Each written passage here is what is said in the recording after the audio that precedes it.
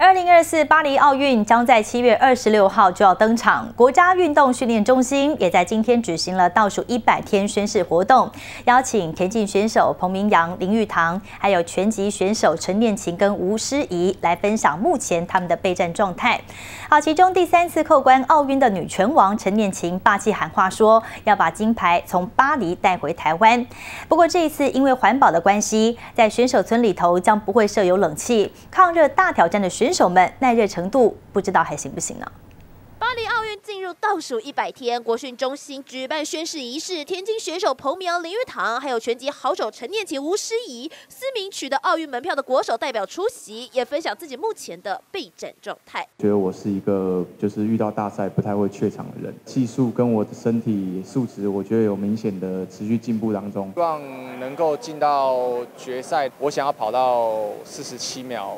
年前有受点伤啊，目前恢复了。我觉得我脚伤好了。然后我又想去做一些东西，可是教练就会觉得啊，我们先不要好了。虽然说感觉好了，但是强度也不要到那么强。而被视为本届奥运夺牌大热门的陈念琪，这也是他第三次扣关奥运。谈及备战状态，他说这一次在心态调整上是最好的一次，跟霸气喊话要把金牌从巴黎带回家。最喜欢现在的心态。